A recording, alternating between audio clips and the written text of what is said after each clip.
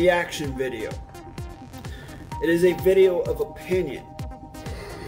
Nothing personal is meant toward the individuals in the videos. My volition uh, for posting these reaction videos is to look at these videos and critique them through the lens of correct sentence structure, communication, parsing, syntax, grammar. Usually they are quantum grammar related videos, and I'm looking for correct sentence structure knowledge here. And I'm also looking at the claims made in the videos through the lens of correct sentence structure, communication, parsing, syntax, grammar. Now you may notice that I'm doing certain things with my hands. I am not making any secret hand signs or gestures when one is doing public speaking, there's only so many things you can do with your hands. You can fold them, maybe put them on your hips, dangling lifelessly at your sides, put them in your pockets, hold them like this, whatever it is. I'm not making any type of signaling gestures unless I do this, which means shaka. Keep in mind the information, the things that I'm sharing in this video are for educational purposes only entertainment purposes only, nothing personal towards the individuals in the videos themselves. Thanks and enjoy. Welcome to this Coral Blade Grotto broadcast. In this one, I'm going to do something a little bit different. I'm going to react to a video that really has nothing to do with quantum grammar, nothing to do with correct sentence structure, communication, parsing, syntax, grammar. Um, but what it does have to do with is this individual right here, whose name is Bryan Parker. And he has been running a group called Tactical Sovereignty, which has been on the internet for a few years. I actually was a part of the Facebook group in 2017, 2018 uh, when I first began studying correct sentence structure. And I just kind of observed the things that he was doing, he was teaching, showing people. And it has a, what he does has a lot to do with, from my perception, a lot to do with common law and a lot of biblically related stuff. Uh, he draws a lot of what he talks about or follows from the Bible. Um, and I actually like listening to what he says, uh, his his take on things, his view on views on things.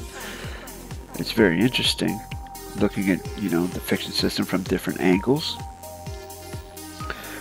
One thing that kind of put me off from him though was the fact that anytime anyone brought up anything about quantum grammar in his tactical sovereignty group, he would belittle them and be very dismissive of them. And I couldn't figure out why, and this was before I had closure on the grammar.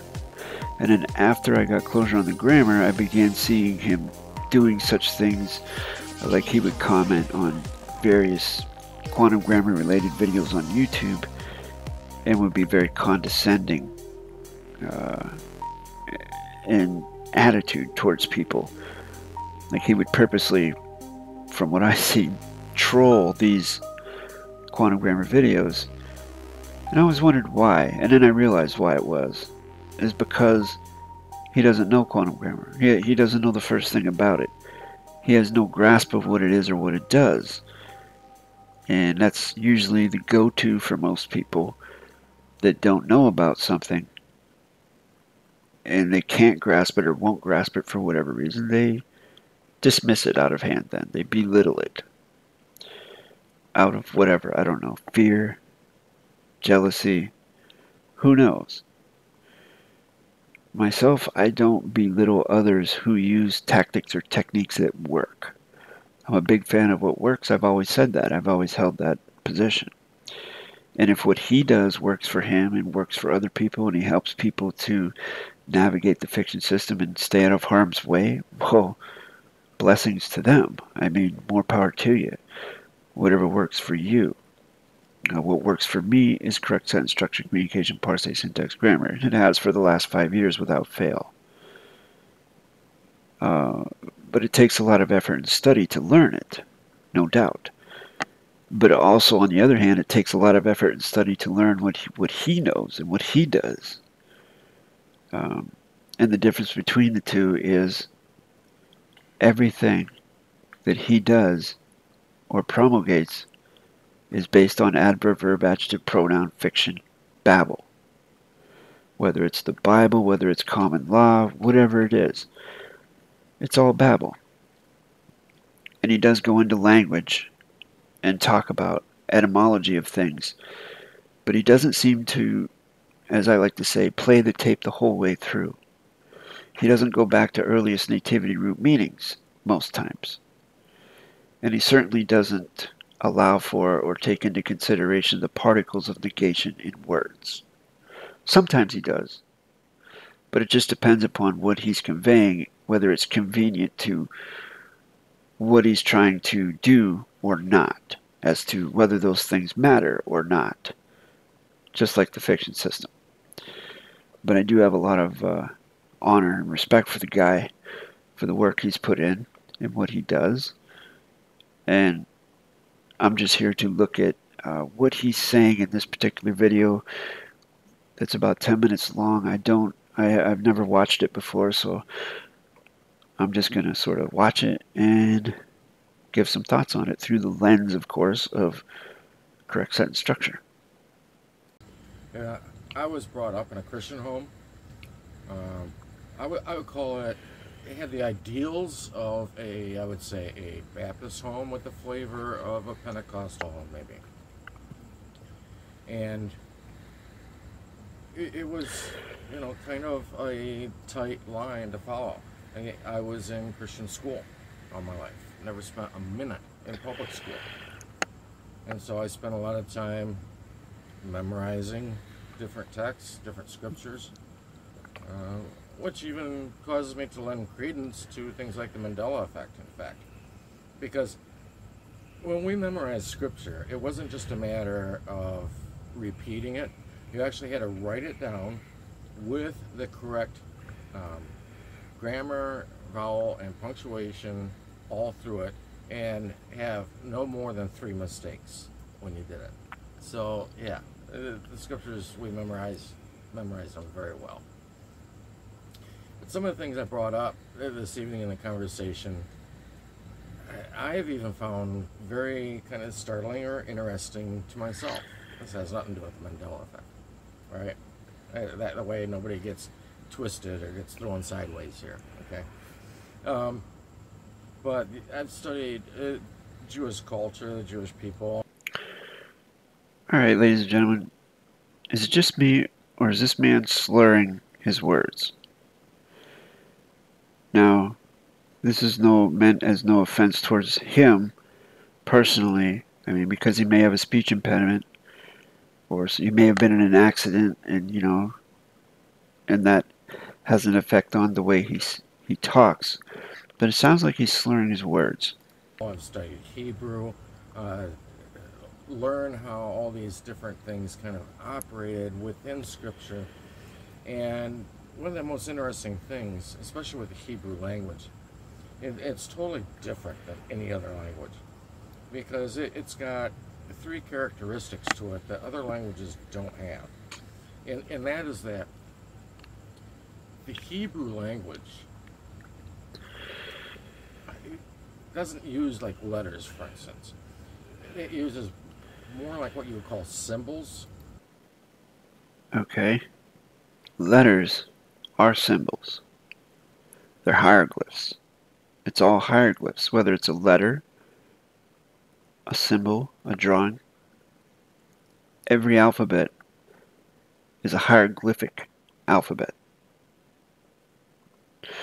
So, in that sense, Hebrew is not different than any other language because it still uses hieroglyphs, symbols, to represent whatever meaning it is, sounds, uh, different meanings. Okay. It might resemble a bowl, might resemble a hand, things like that. Uh, the second characteristic is that each of those symbols has their own definition to them. Just like any other uh, language, if you look up in parse each letter or hieroglyph, it will give you an etymological continuance of the evidence to the earliest nativity root meaning of that letter, symbol, or hieroglyph. So again, that's really no different than any other uh, alphabet or language. And then third, each of those symbols also carries a numerical value, a number.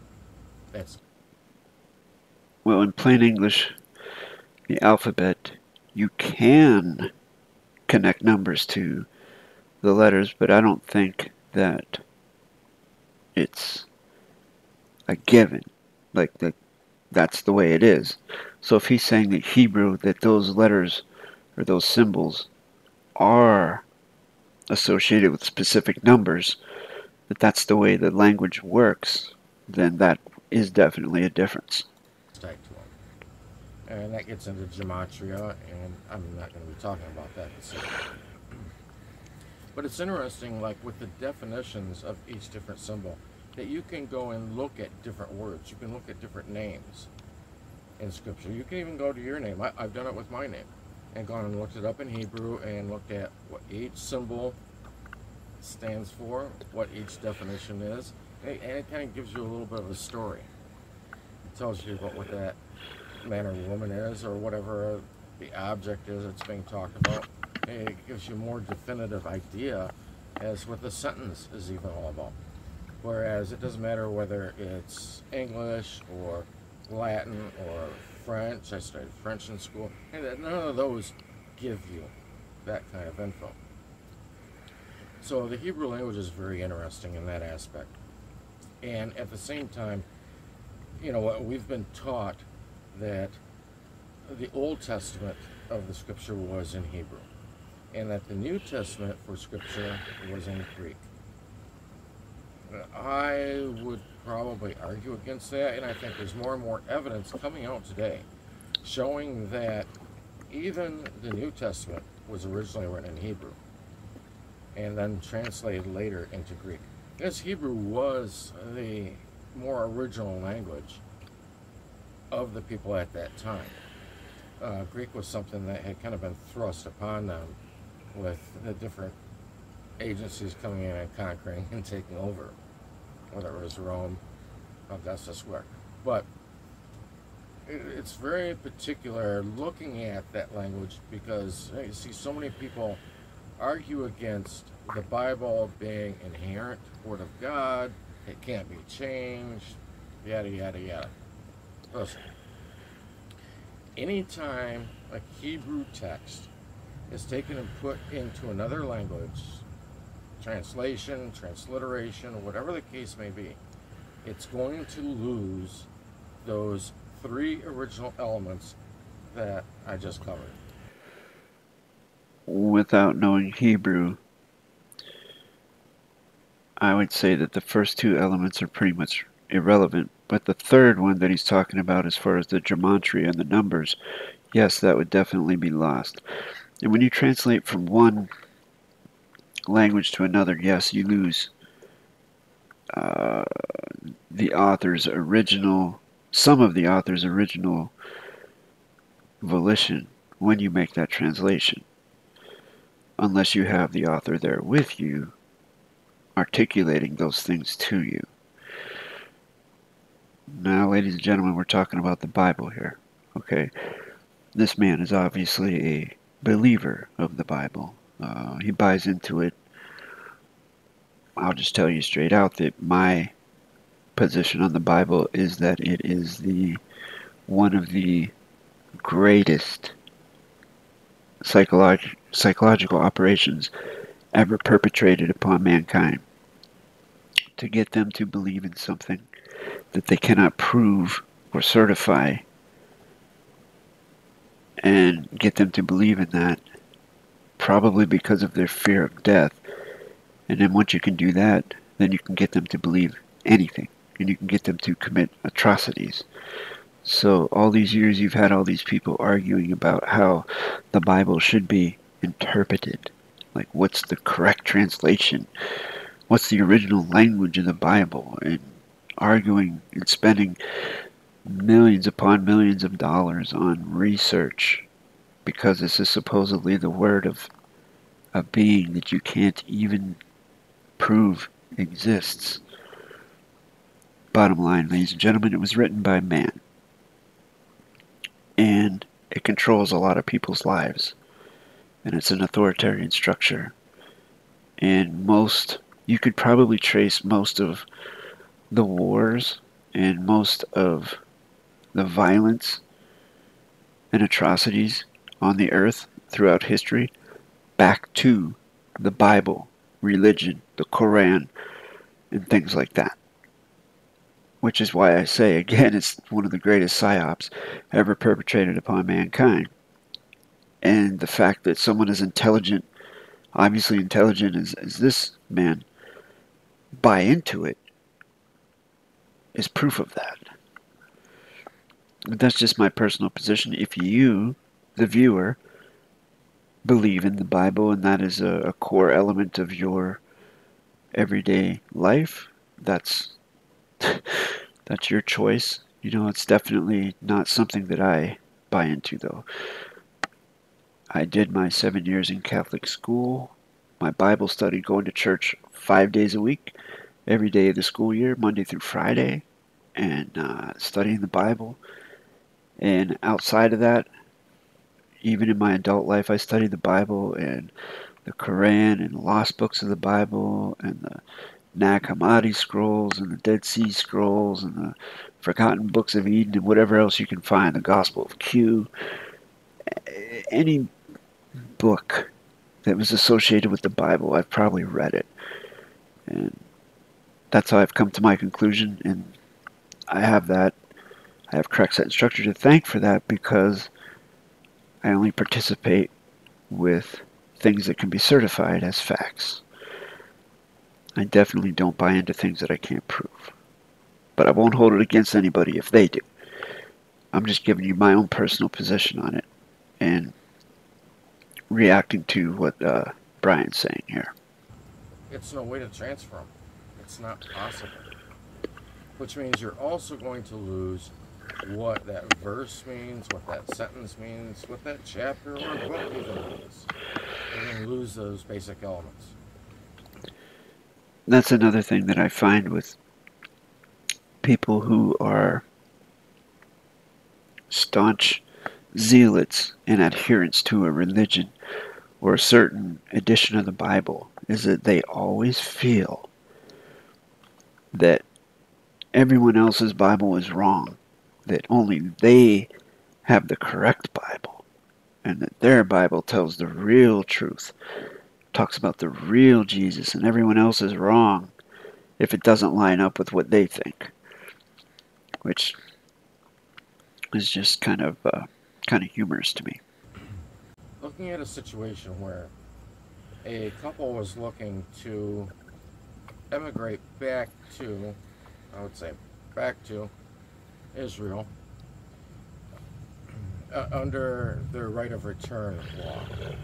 Because Israel has a right of return law where, and I will post something down in the comments below or in the description box rather, give you a better idea of it. But uh, basically, where if you have relatives or family originally from Israel, you have the right of return.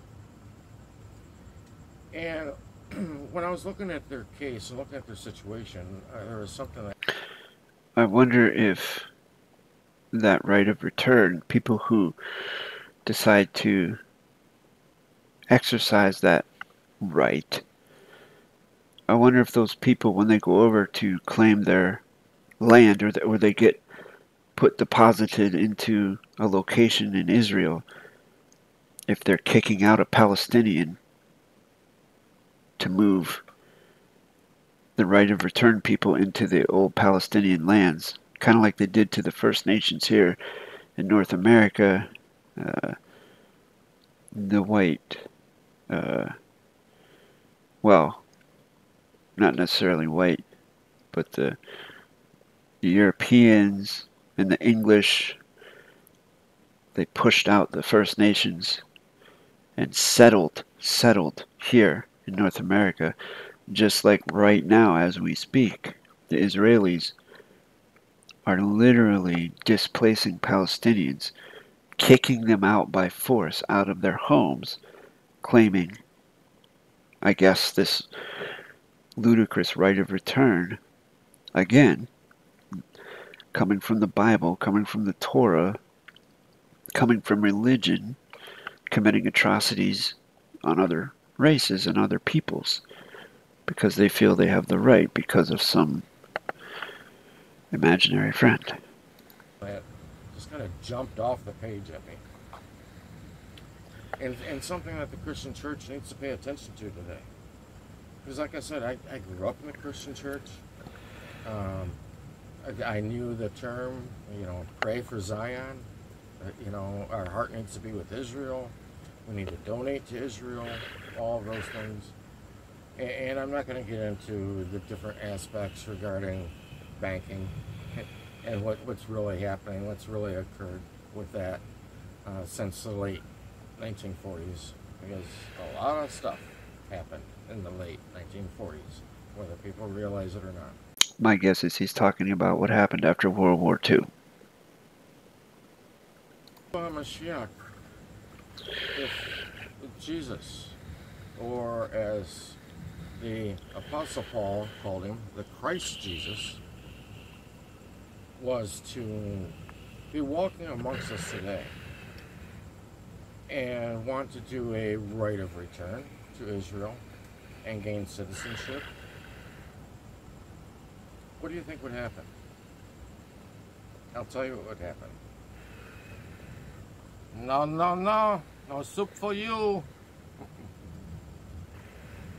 You wouldn't be allowed. Yeshua HaMashiach, Jesus Christ, would not be allowed to reside permanently and have citizenship in Israel. And the reason why is because he'd been baptized into a different faith. He was baptized by John the Baptist. That's when the Holy Spirit descended like a dove. Because that story I was reading of this other couple, that's exactly what happened to them. They were denied citizenship because they had previously been baptized, which isn't part of the culture of today's state of Israel or nation of Israel or whatever you want to call it. To me, that's just something very interesting to think about, to stop and consider. That if the Jesus of today's churchianity or Christian faith or whether you're Baptist, Methodist, Presbyterian, Lutheran, oh, it doesn't matter. If that Jesus was here today and was seeking refuge or citizenship in the state of Israel, by law, he would be denied. So the question on the thumbnail is, you know, Jesus knocking. Can he come in legally? The answer to that question is no. Stop and think about who you're serving. Pay close attention. So to wrap this up, this uh, video was basically discussing Hebrew language, Israel, how the Bible has been modified, being that it began with the language of modification, adverb adjective pronoun, uh, Babel language, and then was further modified and changed into other languages, telling stories that were basically lifted from older religions and older cultural stories from other countries and cultures and people.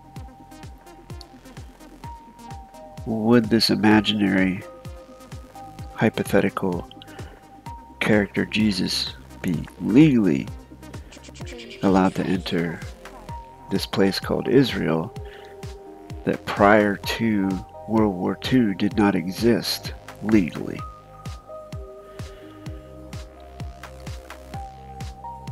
So if this hypothetical Jesus tried to enter Israel before World War II, there wouldn't have been an Israel to enter. He'd have been entering Palestine. And he probably would have no problem going anywhere he wanted to over there. But this is all imaginary, he said. She said there is no way to really certify any of this. It's just interesting thing to discuss, talk about if you're interested in religion and history. Uh, these things are just, uh, you know, something to talk about at the water cooler. But to get back to the domain of fact, if you would like to learn correct sentence structure, communication, parsing, syntax, grammar, which has absolutely nothing to do with the video you just watched, then contact me at the email address listed at the bottom of your screen, or you can watch this channel with over 400 free videos on it, which also offers memberships. You can click the join button to find out about that. And until the next video, hope everybody stays safe and healthy. Goodbye for now.